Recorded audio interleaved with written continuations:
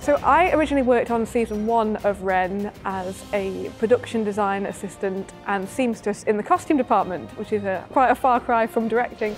And since then I've gone on and directed loads of short films and branded content. Action! But it was still kind of interesting coming back in and taking over from three other directors and coming in at the uh, last block of filming. I know you're all tired, but let's do this.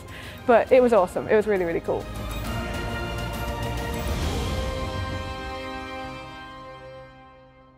Remember that you can get exclusive merch, short stories, interviews, and so much more by signing up to our Patreon and becoming a marked one. Stupid, stupid! Quick!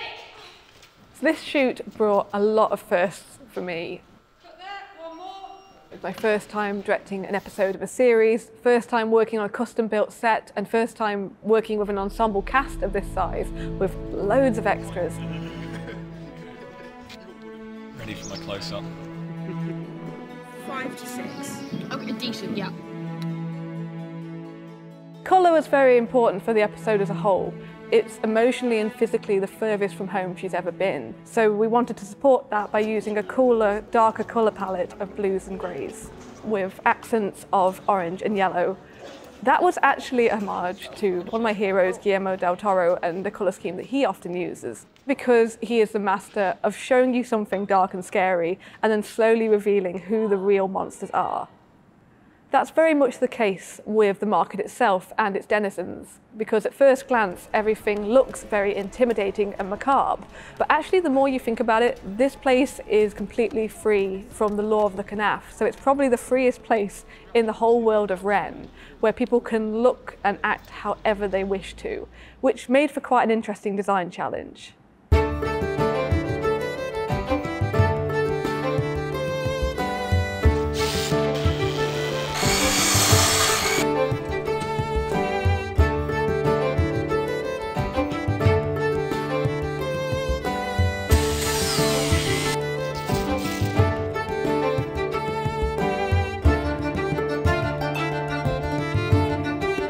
I actually got to help a little bit with the set build when they needed an extra set of hands. We'd be set dressing into the early hours and listening to 80s music, so yeah, it was quite nice little design parties that we had. Rose and Ash and Suzanne and their teams were amazing. Early on in pre-production, I put all of my inspirations together into a mood board to show to the crew. And what was really nice is that at one point during the shoot, we were watching a shot back and it was my favourite shot of the whole thing. Action! And we were watching back this take and it just looked so beautiful. I was so happy. I was like nearly crying with pride and I was like, don't cry, it's all right, hold it together. And, they, and Neil leaned over my shoulder and he went, this looks just like your mood board. And then I nearly went. That was it. I just nearly went. So Cut!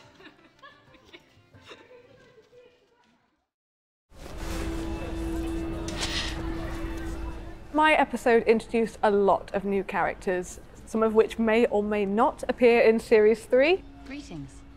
Joran is a street urchin. We wanted to very much avoid the stereotypical Victorian Dickens street urchin, because that's something we've all seen before. So instead, we looked at a lot of supernatural characters like the fairies in Carnival Row and Legend. And we also wanted to make sure that Joran had no definable gender. Ultimately, Halo Haynes accepted the role, and I was delighted because she is a true chameleon. She might actually be a magical character. And action! With Bibliana, the bookseller, we wanted to suggest that she's been everywhere and seen everything and done it all and had lots of adventures before settling down into the slightly easier business of selling illegal books. And she studied a lot of prophecies. So she's the first character to recognise exactly how important Ren and her powers might be for the future. By the sorrow of creeping wood barrow, girl. In the role of Bibliana, we cast Therese Collins, who is an actor myself and Neil have worked with countless times before. Not only is she an amazing actor with a great screen presence, but she's also so much fun to have on set. The Marked One is escaping. Not on my watch, he isn't. There was just something so special about Latoya. We only get a brief glimpse of Helea Tharkan at the end of the episode, but we wanted to immediately suggest someone with presence and authority. I also love the fact that Tharkan is a woman and a younger one at that, because she's the one that strips away the last of Othon's power. It's almost like she's representing that she is the future of the Knaf and he's the past, and he hates that. So that's a really big moment for Othon's character. And then help, somebody help. And yes. And then keep going when we roll. Lovely. Thank you very much. That's that's too hard. I'm going to need at least half an hour to prepare for this. Sorry? Get off the banter bus. you. The biggest thing that surprised me about Ren is the fact that the people who looked scariest on screen were actually the biggest sweethearts of them all.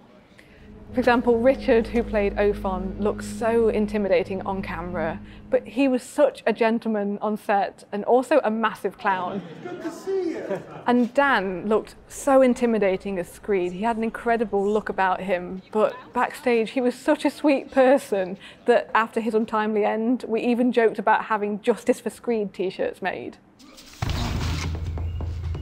The fight scene in my episode was a knife fight, which I absolutely love because it's such a raw and intimate form of fighting. It's still exciting for the audience to watch, but it's not about big set pieces. It's just about people at this point and the very real risk of losing one another, which is a perfect choice by the writers at this point in the story. Working with Ronin was brilliant. I directed scenes in the past that involved minor stunts, but nothing on this scale of fight choreography. So I had a lot of questions and he was really patient with me and he wanted to make sure that we were both happy with what was going on screen. Right, can we clear all this area, please? All the way back just for a second. So just just walk that through slowly. So you come down to the stab. we're here, yeah? So, Ronan and I talked a lot about power struggles and switching up the balance of power within the scene. But the most important thing for me was maintaining the connection between Ren and Hunter throughout this scene, showing that the stakes are really high for the characters and their bond at this point in the series. the energy coming towards you is really high, so we need to just match that with a massive struggle. There were no easy days on my episode, and one of the big challenges was the two emotional scenes. The first, where she thinks she's going to lose Hunter, it's the push that Ren needs to try using her powers again, fully in control of them for the first time, and realising that they can be a force for good. Cut there. Actually, very nice. One, but, but uh, one more. The scene where Hunter betrays Ren is just devastating for her because she's already lost so many people in her life. She's only just begun to trust Hunter, and now suddenly it's like she doesn't know him at all. He isn't who he said he was. We workshopped lots of different techniques to bring out the emotion of their performances. Everything from improvisation to musical talismans, even a very mild form of hypnosis at one point. But the biggest asset was just the bond that Alex and Oriana had for each other. By this point, they'd been working together so closely for weeks on end, and they'd created a real genuine friendship, so they were able to support and encourage each other during these difficult scenes.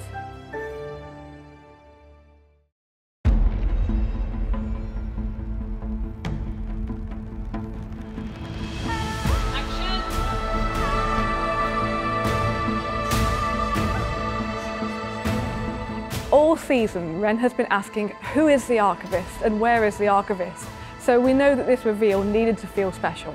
He will see you. When I read the script, I immediately pictured Florian. It was almost as though it had been written for him. He really embodied the role and threw so much into it. Finding a castle on an independent budget was always going to be hard, and I'm pretty sure we almost gave up hope at one point.